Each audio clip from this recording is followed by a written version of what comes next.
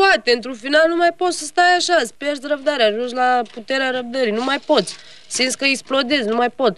Adică nu poți să faci nimic, ești legată de mâini și de picioare. La urgență nu, la una nu, la aia nu, vreau să fac și eu, poate aveam uh, posibilitatea să lucrez. Am și lucrat așa.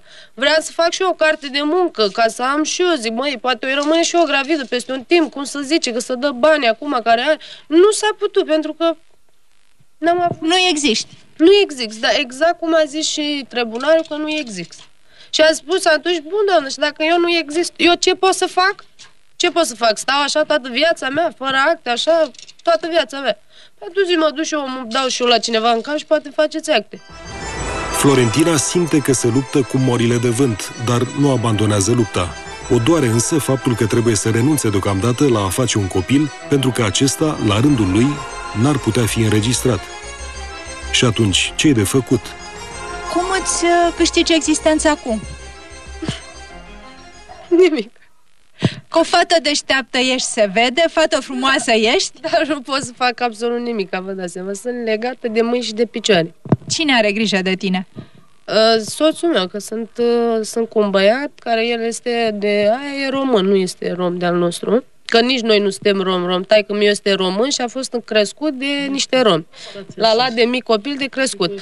Dar... Uh, și de asta noi suntem un pic mai civilizați față de alți romi, pentru că tata n-a vrut să fim chiar așa, știți, rom-rom, a vrut să fim un pic mai civilizați, fiind români, dar el, cu el stau tot timpul, cu el pe acasă, toată ziua, mi-e și frică să mai ies până oraș. Dacă mă crede sincer, mi-e frică. Te-a ridicat vreodată poliția din oraș? M-a luat odată, când s-a luat atunci cu razele alea, când aveai buletinul la tine, m-a luat, m-a dus la poliție, Zaharia, M-a, m-a întrebat, a văzut că nu mă găsește în datele de bază, eu am zis numele corect, el a zis, zice, m-a și bătut atunci, m-a luat de păr, m-a dat cu capul de birou la masă, că a zis că îl mint și eu dacă, eu i-am spus dacă ăsta este adevărul, așa mă cheamă, nu că mint, m-a bătut, în fine, mi-a făcut amprete, mi-a luat niște amprete, poze, și m-a pus acolo, a zis că până te găsesc să văd ce cu tine, ca să am ampretele tale și pozele tale în caz de faci ceva sau mă mir. Eram copil, aveam 8-9 ani, cam așa. 8-9 ani maxim.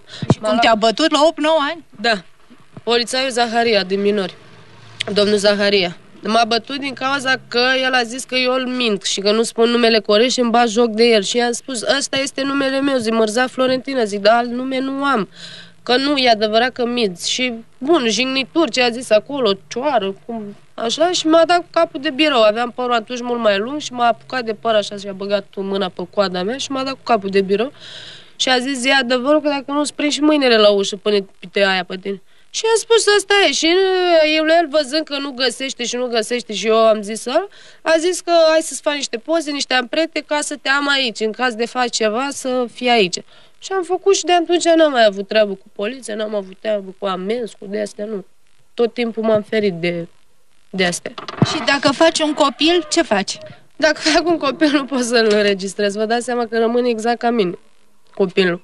Că mai zicea de la tot în tribunar mi s-a spus că dacă faci un copil, or să ia amprete de la picioare mie și lui ca să știe că este copilul meu, ceva de genul ăsta. Ca să poți să știi că este copilul tău așa. Dar nu vreau, nu vreau să fac, nu. Nu, pentru că am zis că nu are rost. Dacă fac, vreau să-l duc la o școală, vreau să nu, nu vreau să fie exact cum am fost eu, să fie în situația mea, să-l pun în situația mea, nu. Nu. Și n-am făcut nici ajutor social, nici de muncă, nici de alocație, nimic, doamnă. Este așa cum este bolnavă, dacă vine salvare, cere acte, eu trebuie să prezint actul la altă copil, să pot să o trateze și pe ea, să vadă ce se întâmplă cu ea, dau la asta la sau mă rog, da. Când am ce să fac așa, nu mă primește cu ea. Și tot am dat la alte fetele buletină să facem și gatul să zic că este pe numele ei și să uita la ea. E cam asta e, doamna, do, do, cum să vă spun, să poată să facă și totul posibil, să o ajute și pe ea, doamna, că nu a făcut cine știe ce mare s-a întâmplat să facem o crimă, ceva, să a dat-o ca brusoară. Ce problema care a fost cu boală și a zis că așa și bine. Și dacă te dea seama, cu de-au crescut și ce și crește și asta nu era o treabă, dar era cu boala ei și nu am primit nimic, n-am primit absolut nimic, doar a pus degetul atât, eu n-am citit, nu știu carte, nu știu nimic, că el n-a fost acasă, era arestat și am zis că fac și eu bine, să o ajungă și e bine. Și nu a fost străina lângă mine sau străinul ăla, avocatul ăla. Și este foarte greu, doamniță, este foarte greu treaba asta. Este foarte greu ca și moartă fără acte. Că te duci unde te duci, trebuie actul. Te duci unde te duci, trebuie actul. E, pentru e foarte greu. E o situație singulară în Europa. Este clar că adopțiile încheiate prin traficarea actelor de identitate nu sunt în regulă, dar nici nu se mai pune problema desfacerilor. Mai grav este că nu se știe cine sunt cei care au ieșit cu adevărat din țară. Au fost două soluții pe care le-am dat, adică și uh, aceea de anulare a actului de adopție și de o înregistrare tardivă a nașterii pentru copilul aflat în țară, pentru că nu se știa exact uh, cine este cel plecat. Câte cazuri cunoașteți? Uh, dacă nu mă înșel, sunt vreo 26 de cazuri.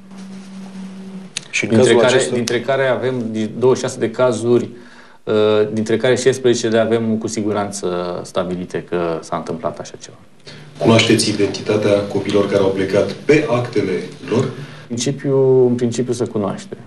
În Pentru toți cei 26 Nu aș cunoașteți? putea să vă dau un răspuns uh, sigur, dar în principiu cam știm. Deci există copii care au dispărut pur și simplu din România. Da, da.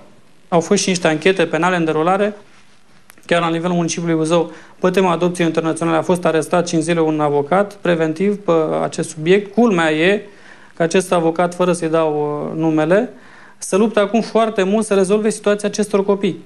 Același care era arestat preventiv în anii 90 pentru astfel de trafic de copii și adopții internaționale.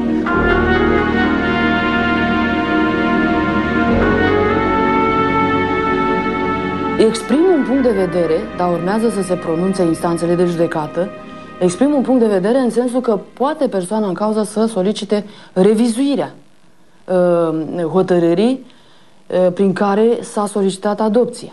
O astfel de situație uh, ar produce efecte pentru copilul care se află în străinătate, care este adoptat, este cetățean cu drepturi de pline, este și nimeni nu se gândește acolo că s-ar putea cumva reveni. Deci de 20 de ani un copil care trăiește într-o familie e greu să-i mai schimbi Așa ceva. este, dar nici nu știm ce copil este plecat în străinătate, practic. Aici este problema. Oricum, uh, părerea mea este că, uh, având în vedere cazurile care s-au evit și la noi în județul Buzău, dar și în țară, după câte uh, suntem informați, ar trebui persoane, uh, instituțiile abilitate să facă un studiu și să propună soluții pentru rezolvarea urgentă a acestor probleme. Deci, lipsește o practică unitară pentru aceste cazuri.